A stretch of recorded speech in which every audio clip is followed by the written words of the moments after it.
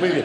Bueno, ahora sí, ahora vamos ya a las noticias de alcance. Berto, cuando quieras, empecemos. Bien, he visto una noticia que me ha dejado a mí y a todos mis compañeros absolutamente roto, Sí. a mí y a ellos rotos. Los bomberos, esta es la noticia, rescatan a un señor que intentaba alargarse el pene con una pesa.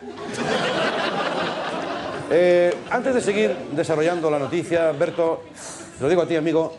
¿tú crees que puedes eh, ampliarla sin que mi madre cambie de canal?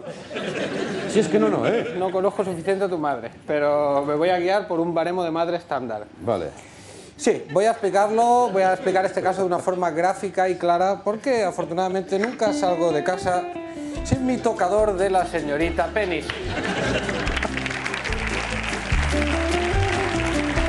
Un completo neceser, un completo neceser de metáforas fálicas. Aquí ¿Metáforas tenemos, fálicas?